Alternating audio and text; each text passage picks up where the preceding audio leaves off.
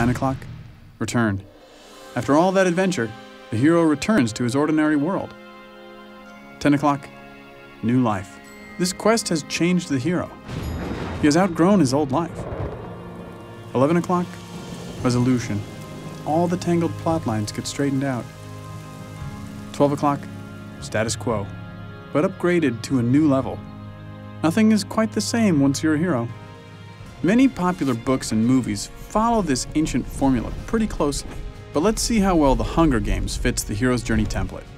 When does Katniss Everdeen hear a call to adventure that gets the story moving? When her sister's name is called from the lottery.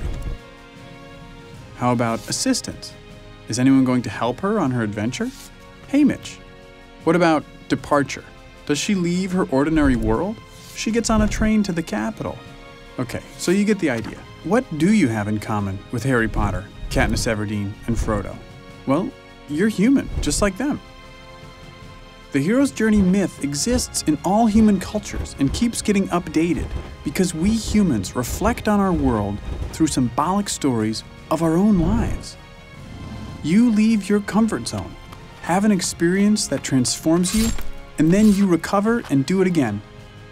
You don't literally slay dragons or fight Voldemort, but you face problems just as scary.